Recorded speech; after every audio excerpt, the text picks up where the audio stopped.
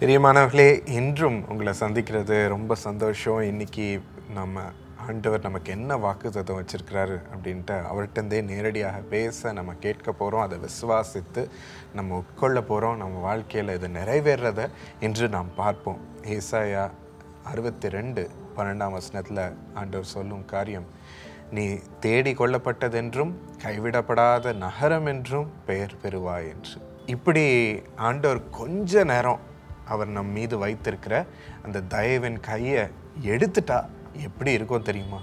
ஆண்டவர் நம்ம கூட இல்லாதது போல சில நேரம் நம்ம உணர்றோம் இல்லையா? ஐயோ எங்கே ஆண்டவர் போனார்? அவர் பிரசன்னத்தை நான் உணர முடியலையே. அவர் ஆசிர்வாதத்தை என் வாழ்க்கையில் பார்க்க முடியலையே. இந்த காரியத்துலலாம் அவர் ஆசிர்வாதத்தை பார்க்க முடியலையே. என்ன நடக்குது? ஏன் ஆண்டவருடைய ஆசிர்வாதத்தை நான் ருசிக்க முடியல? நான் முன்னாடி போக முடியல? இல்லை என் வாழ்க்கையில் ஆண்டவருடைய பிரசனத்தையே நான் உணர முடியலையே. தனியாக இருக்கிறது போல இருக்கிறது. சில நேரத்தில் அவர் கரம் நம்மை விட்டு எடுக்கப்பட்டால் எப்படி இருக்கும்? அவர் எவ்வளோ முக்கியமானவர் அருமையானவர் என் என்பதை நம்ம நினச்சி பார்க்கணும் என்பதற்காக ஆண்டவர் இப்படி கொஞ்ச நேரம் தனிமையை ருசி பார்க்க விடுகிறார். Sometimes we take God for granted ஆண்டவர் தான் என் கூட இருக்கிறாரே அவர் எப்பவும் இருப்பாரே.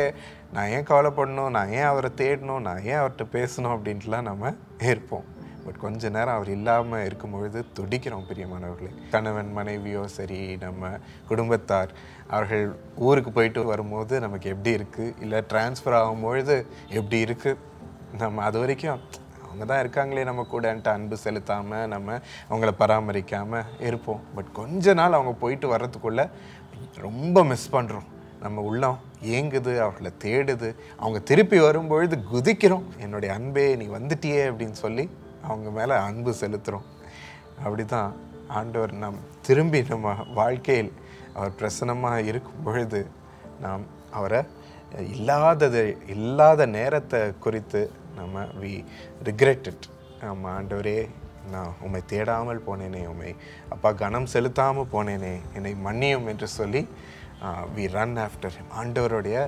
அருமையை அப்பொழுது தான் நம்ம ரியலைஸ் பண்ணுறோம் அதே போல் இந்த உலகமும் எப்படி இருக்குது என் தயவு இல்லாமல் எப்படி இருக்குது அப்படின்ட்டு நமக்கு காண்பிக்கிறார்.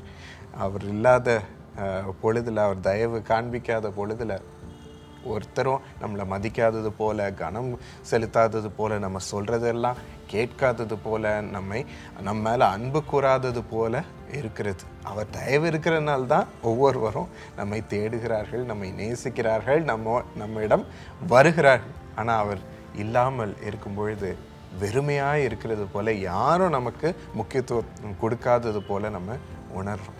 இதுதான் உலகம் என்று சொல்லி காண்பிக்கிறார். நான் இல்லாமல் இப்படி தான் உலக வாழ்க்கை இருக்கிறது என்று.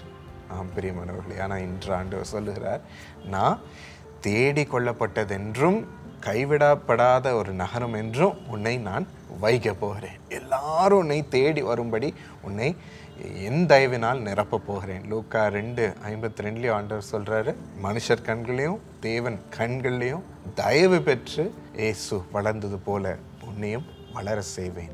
அப்பொழுது எல்லாரும் உன்னை மெச்சிக்கொள்ளும் ஒரு மனிதனாக ஒரு மனுஷியாக நீ இருப்பாய். என் தயவில் இருப்பாய்.